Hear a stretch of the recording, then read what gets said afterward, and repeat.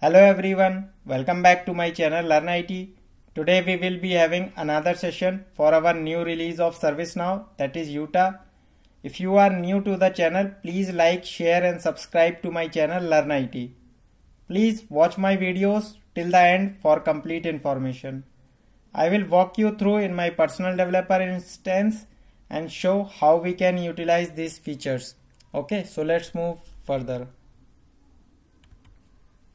So you can see there are some of the features displaying in the screen. So we will start from one of the first feature that is dark theme. So let's see in our personal developer instance how this dark theme works. So this is my personal developer instance and now you can see currently we have normal theme activated. So currently no any dark theme is applied to this instance so let's try to apply a theme on this instance.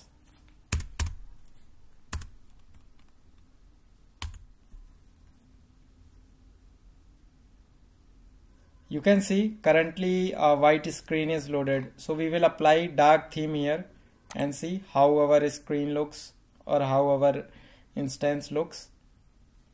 So we just have to go under this preference and then you can see there is an option called theme. So as soon as I clicked on theme there is a default theme and a dark theme. So I will apply on dark theme. So this dark theme will be applied. You can see the dark theme is already applied and the look has completely changed. You can click on this incident and you can see how our form looks. Even the form the dark theme will be applied. You can see. It looks good also. Right so this is all about dark theme how you can activate it and how you can see the changes it is uh, on your uh, instance. All right. So this dark theme changes will be applied to many places like a list forms dashboard knowledge service catalog virtual agent client VTB virtu, uh, virtual task board, visual task board landing page. All right so let's move to our next feature that is uh, theme builder. So let's try to first uh, deactivate this dark theme from our preference. Alright we have deactivated the dark theme. Now what we will do is like our next feature is like theme builder. So we will move to our theme builder and see how we can create a theme. So previously uh, uh, we cannot create such kind of theme but in Utah ServiceNow has released some feature like uh, theme builder where you can create your own theme. So let's try to explore how this theme builder works. So we just have to type theme builder here. So you can see we have a theme builder displaying in the screen. Okay so let's move further and see how this theme builder is utilized. So let's click on theme builder first theme builder uh, is loaded here and you can see there is some of the theme builder uh, home page is displayed and you can see here manager and editor is started displaying. Here you can manage your existing themes and an editor you can uh, uh, customize or edit your existing themes. So let's try to create a sample theme here. Let's click on continue. You have to provide your name here. So I will give a name learn IT theme. All right. Now what I will do is like I will select a primary color. So I have selected uh, this green. Okay I will click on apply and I will click on next now we have secondary color choice as well. So I will choose secondary color as anything. And I will click on next. And you can see we can select a neutral brand color as well. So we can suppose I have applied this uh, red color. Click on next. And now you can see we can add more additional colors. But uh, we will see in another video how more additional colors can be added to the theme builder. So uh, currently I am showing just how you can utilize theme builder. And now you can see it will be looking like this and you can upload your logo as well uh, within this size or specifications provided. And now I will click on next and you can select the font which you like to use for your instance so I like this cabin uh, one. So I will click on next. And here you can see we can uh, select the rounded one less rounded more rounded or square. So I like the most rounded one because it uh, make a instance more uh, good. So I will click on next. And now you can see your three colors started displaying here. And your uh, text and uh, round size of any box is displaying here so I will click on create theme. So you can see our theme is created here.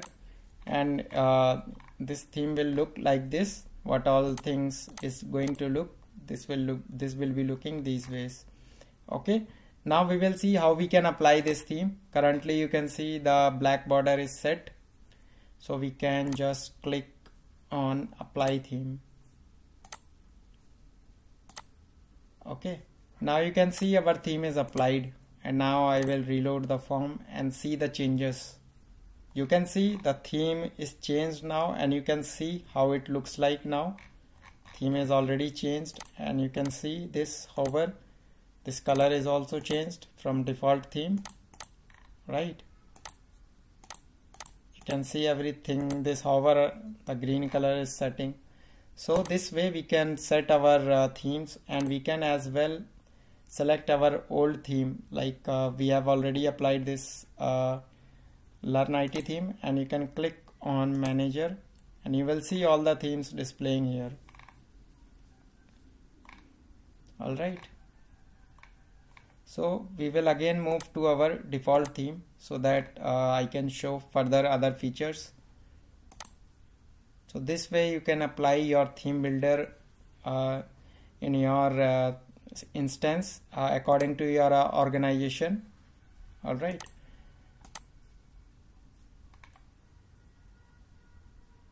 all right so let us reload this form and go back to our default theme so now let's talk about next Utah features that is favorites grouping. So that will enable users to group their favorites together and they can as well create the new custom groups. So I will show you how this favorites grouping uh, can be created. So you can see this is a favorite uh, displaying here. So you can click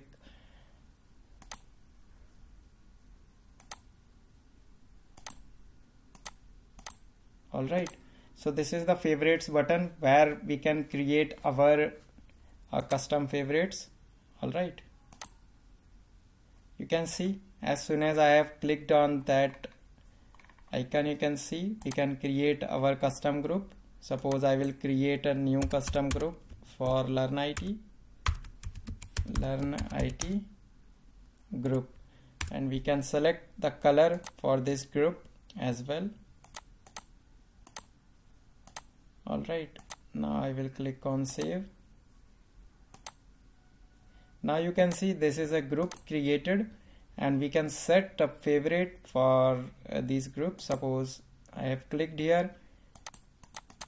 And you can see we can define where we can add the groups. See? So there is already learn IT group where this uh, this will this is created. And now I will click on save edits.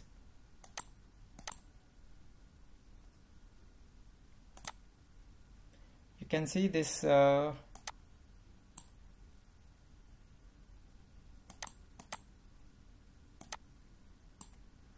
now this will be displaying under learn IT group.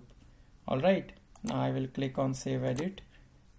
And you can see under learn IT group we will be able to see self-service incident. And I will just uh, drop drop down and uh, drop close. Okay. So you can see self-service incident displaying under this custom group that is created under favorites. All right so let's move to our next feature that is multi-menu filtering. All right so i will tell you what is multi-menu filtering. So we can find options from other menus under all results. Okay so I will show you how this works. So suppose I will type here portal. And you can see this all, all result is started displaying and it, it is searched in favorite section as well portal thing under favorites we were not having any result so it has displayed no result. And in all result you can see from all, most many menus the options started displaying under portal. Okay? So this this is the way how multi-menu filtering works in Utah all right so now we will talk about next feature that is history detail. Okay so how this works is like we can show workspace custom UI pages in the history tabs. Okay and many more things you can see in your history. Previously you, you will not be able to see lot more things under history section. So we can click on history detail and you can see more organized way you can see the details. Suppose currently you can see learn learn IT incident flows incident notifications flow engine context everything system property email property everything is started displaying here. All right. So for uh, enabling this history uh, history detail thing you have to enable the property glide.ui.polaris.history.recording equal to all. So everything will be tracked under this history details. All right. So now let's move to our next features. So next feature is very interesting. So uh, what we call it as script editor. All right. So script editor we are seeing same kind of script editor displaying in inside a ServiceNow system. So now they have modified some something under script editor. All right. So we will see what what things they have modified under script editor when we write any script under server side or client side. So let's see how what they have created. All right. So let's move to our uh, code. Suppose we will open business rules. Under system definition we will click on business rules. And now I will find some uh, script which is somewhat uh, large so that you will understand more clearly. So suppose I will click on this CMDB dependent CI delete. As you can see our business rule is loaded. Now I will show you the changes what is implemented as part of script editor. So you can see this script editor has changed and you can see uh, some changes is done. This is the code preview pane where we can preview our code. And you can see here we have created a, a visualized uh, visualized code. And you can see there is a coloring coloring uh, displayed here. You can see this is black in color this is uh, another color and you can see this is displayed in green color. So same way it will be working as a script editor. So I was trying to get some bigger script. So suppose uh, let me open this one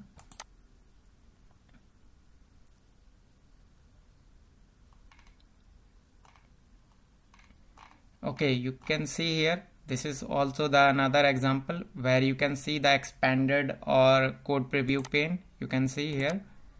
This is the new thing which is introduced in Utah features under scripting editor. This is really very cool because you can see your code, uh, code can be previewed under this small section as well. As you scroll down you can go to your particular lines of code where you want to make your changes all right. So this is all about script editor. All right. So let's move to our next feature. So these are all the features which I have covered just now. Dark theme theme builder favorites grouping multi-menu filtering history detail script editor. Alright so now let's move to our next part. That is flow designer. So here we will see a separate thing here can see associated flows convert actions into a subflow support for stages priorities. So I will show you how these all things has been changed in ServiceNow alright so let's move further and see how we can uh, make changes or apply those kind of changes or use these features in ServiceNow instance. Alright so let's move to our ServiceNow instance now I will click on flow. And I will click on flow designer. Alright so now let's see. We are already in flow designer. And one of the feature was associated flows. What does this mean is like? We can show action usage across flows and subflows. What does this mean is like? Suppose you are using an action. Suppose I am opening this action particular update details alright so what I will do is like suppose this is the action and there are a lot of actions already added. So now what I will do is like I will add more input here. Suppose this is variable 3 and I have added here and I will try to save. So it is successfully saved. Now what I will try to do is like publish. So I will show you what this this publish do is as soon as I click on publish you can see there are two flows right? Uh, there are two flows uh, which is started displaying testing flow and testing flows one. So what does this indicate is like uh, this action is, has been utilized under these two flows. So whatever changes you are making to this action so this is just providing you an information that these changes will be applied to both of the workflows. All right. So this is the information you will be getting using associated flows in flow designer. So this was the feature which was introduced in utah. So i will save these details. All right. So this is all about associated flows. Now let's move to our next feature of flow designer that is convert actions into a flow. Right so here we can convert our actions into a flow. So i will show you how we can do that. Suppose this is the flow.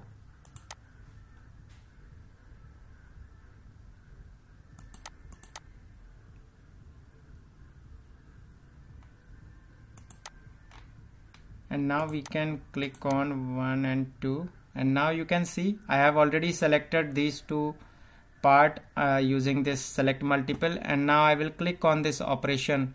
So you can see there is an information started displaying here convert to a subflow.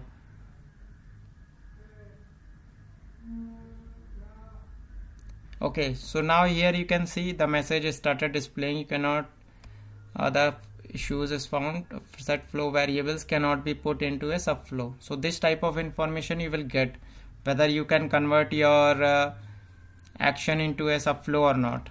All right so now let's try to do some another thing here. Uh, if suppose we are doing this we will try to do these actions. So here you can see there is an operation to create a subflow. See so you you have got the option to create a subflow so you can provide here test subflow. Right and you can see there is a button started displaying here and we will click on convert to subflow. So this way you can convert your actions into a subflow within a flow. Right so this is also a quite interesting feature that has been introduced in flow designer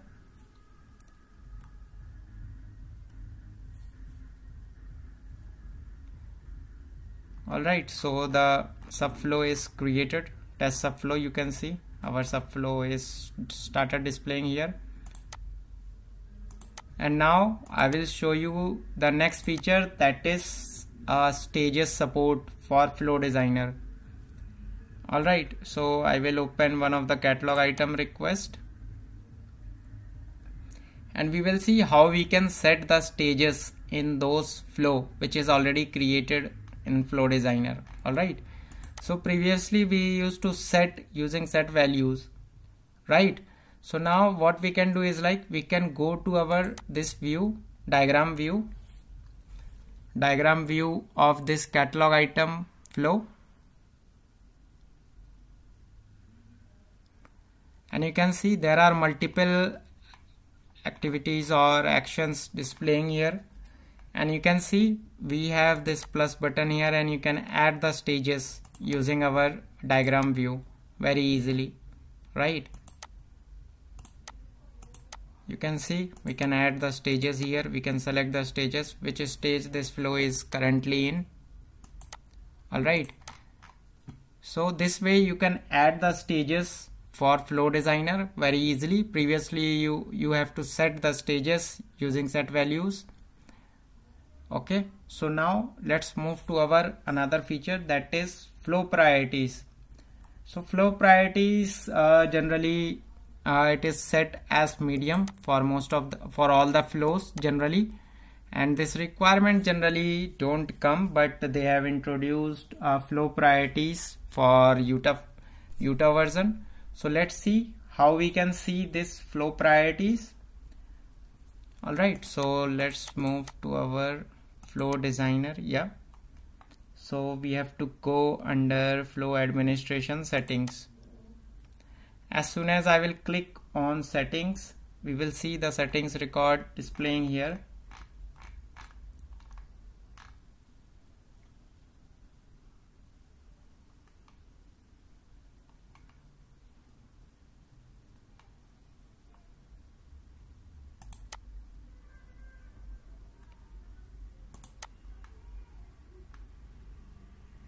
okay so we have clicked on this uh, settings.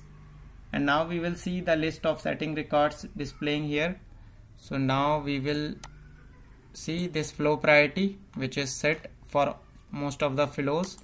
You can see these are the flows default SLA flow and SLA notification and escalation flow. Here you can see for all the flow priority is set as medium. So it will execute on its own on medium priority. So we can see there is low medium high priority for flow designer. Okay? So this will be utilized uh, in very rare case but uh, they have introduced this feature so I had to tell you.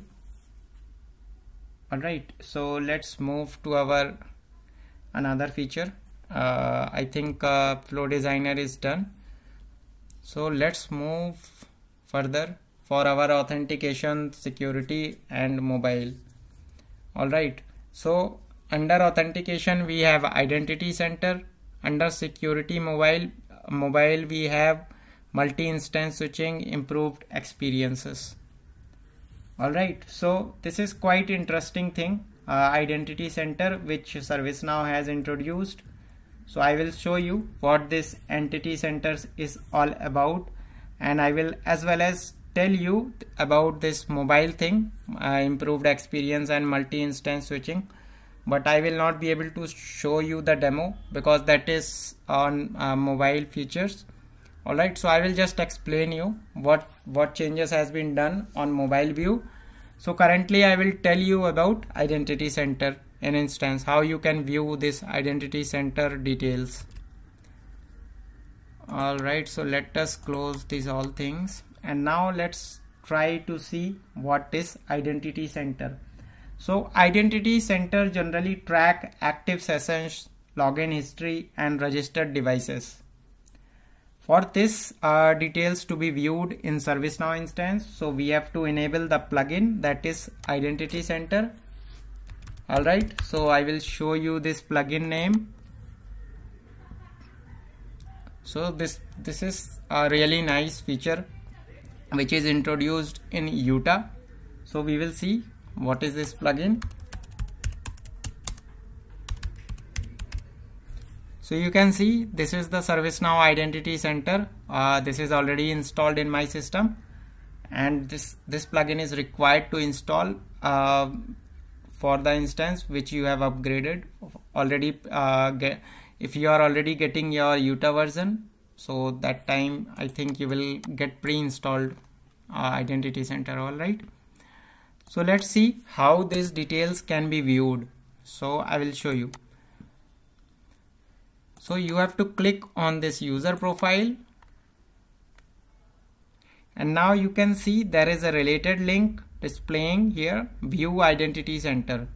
So I will click on this view identity center okay now you can see the active session. So there is already active session going on uh, for my login. You can see. So these are these are the details uh, displaying here. All right. You can see time of login browser IP address session ID and you can see the login history as well here. Right. So this is quite interesting one right so you can see the active sessions and when you have logged in last. So you can see all that details and which browser you are logged in which version.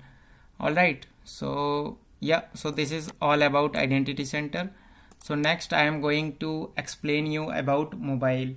So mobile there there there is three two features they have launched in utah. So one is like uh, improved experiences where we can uh, work on themes and our app will be working online offline as well as we can upload uh, upload some attachments or we can upload uh, anything in our uh, mobile UI suppose some image we have to upload or post multiple images or attachments. So we can upload that in using mobile experiences and as well as there is a provision to uh, use input forms and we can use record section functions under mobile experiences. Alright so next is multi-instance switching. So no more uh, it is required to log out or log in for your mobile UI you can just uh, use the icon in your uh, mobile app where you can see in upper left and you can just uh, switch your instance from one instance to another. And uh, the notification will get generated and you can click on uh, any uh, notifications which you will be displaying for any of the instance and you will be redirected to that particular instance using that particular notification. Alright so this is all about mobile feature that is being introduced in Utah so let's talk about other uh, place.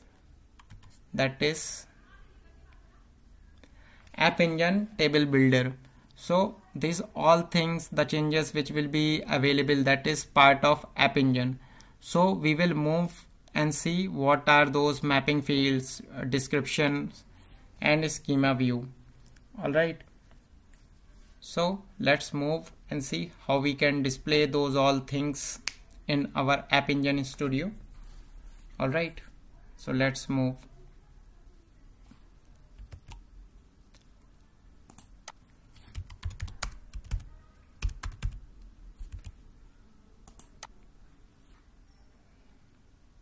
So let me open my existing uh, application.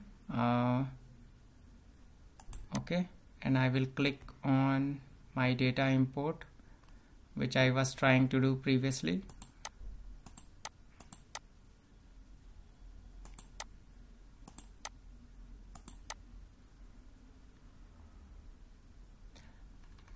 You can see previously I have loaded one of the Excel access file here and there there has been two columns added column 1 column 2 all right? So there is a field which is added right? And you can see it was uploaded so now let's click on map to target. So I will click here and you can see we can map our uh, mapping using our mapping properties. And if we have selected uh, the target table here you can auto map your fields using uh, the fields which is provided in your column. So you can map your fields here using our mapping properties. So here you can see there is a field mapping started for this particular table from the excel which I have loaded right? You can see and we can set some value. Test 1 or test 2 here. And this will be mapped to this particular table my hello. All right? So this is this is the mapping features which they have introduced under app engine studio for uh, for to map this uh, when you are uploading your spreadsheet and you are getting lot of columns right? So at that point of time you can map those fields very easily. Suppose you have to uh, move uh, from one instance to another you have to move your incident list of records. So you can move it very easily. You can just export and import using this app engine studio and everything will be mapped automatically and the data will be mapped and uh, displayed accordingly. All right so these are, these are the purpose for uh, mapping uh, mapping of fields under app engine studio. So this this is a quite interesting feature as well and this will be utilized a lot. So now we will be talking about uh, the table builder where descriptions has been added for the table which you want to select. All right so suppose uh, we will leave from this form and uh, suppose we will try to add more data here. So suppose I have clicked on data. And you can see there is a option started displaying create a blank table and I will continue with it. So I will open from extensible table. Which table you want to use? So now here here comes the thing. And you can see predefined tables started displaying on the suggestions with the description. You can see task a base table that provides fields for core applications configuration items. You can see the description loaded with the table name. So these these details are uh, displayed most commonly tables that are extended. Right? Suppose asset service configuration item task. So these are the most recommended tables uh, through which the uh, current tables are extended right? So the this these are the features for table description that has been added while you are selecting the table. So this is the feature which is introduced in Utah version. All right so next is our uh, schema view. So that is the read-only view of a table. Uh, and this table uh, will be displaying a schema when the tables are linked with each other with multiple tables so you can see suppose I will go back. Suppose I will cancel everything here. And now you can see here we are having some data. And I will click here. And now you can see we have uh, some data schema here right? So you can see again here fields and schema is displayed here. You can click on this schema and view the table how your table looks like. You can click under schema and you can see the schema view of your table which is added in your data view.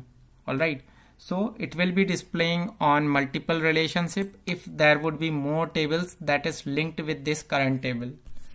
Alright so you you will be able to see uh, more of a tree structure if suppose there are more tables linked with this current table.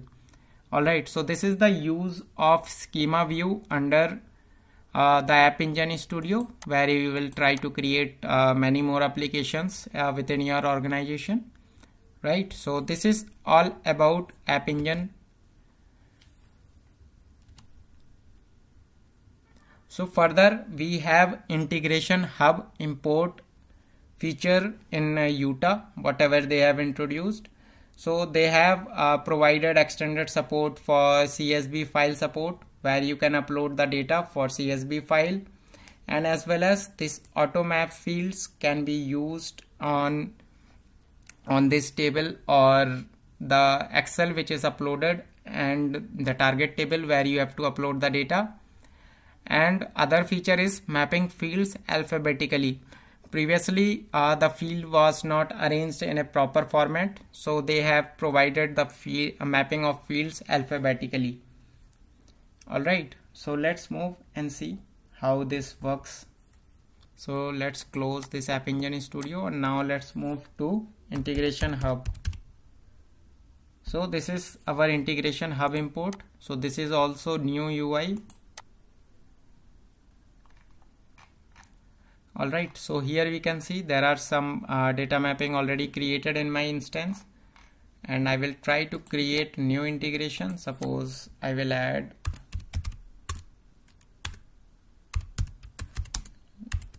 learn IT test. Okay here also I will add.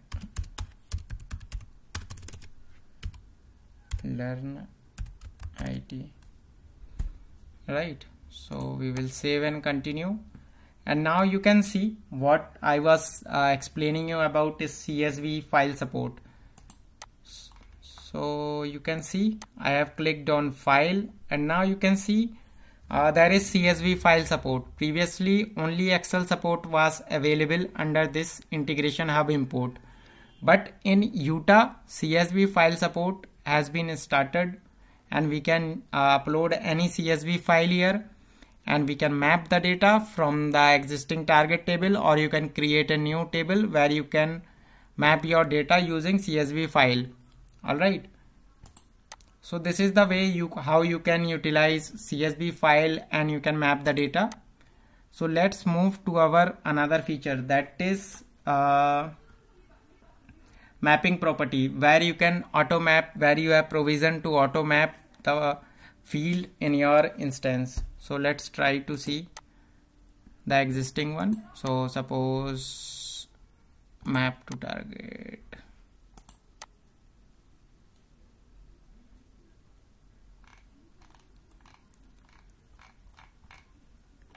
so this was the user user table uh, where I have I have this name user ID email phone and this was automatically mapped with the existing user existing user table.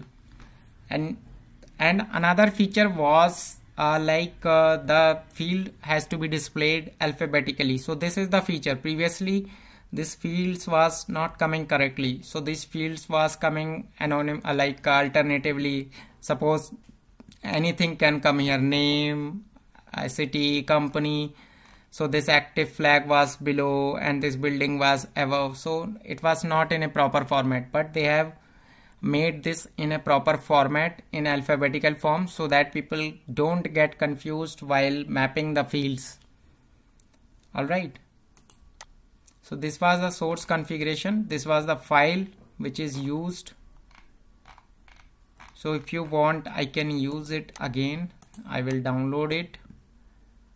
So this is downloaded. And now I will try to create new one. Create new integration. Map the user.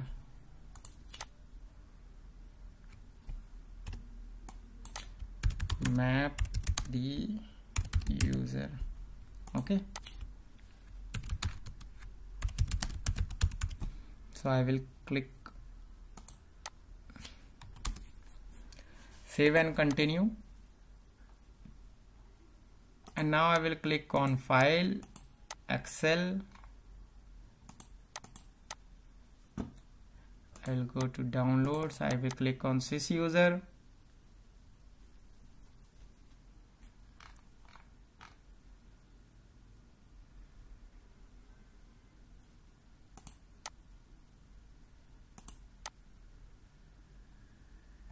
okay now I will go to map target table. So target table here it will ask to select user sys user and I will click on save. And I will click on this record and you can see the mapping property. No data mapping yet. So we will click on add all fields. And now you can see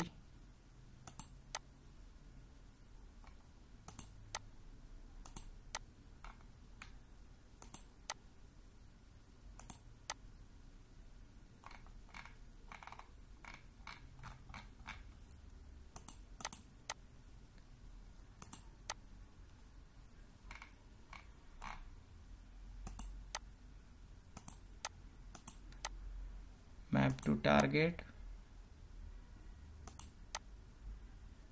So yeah. So this is the button which is hidden here. Auto map button.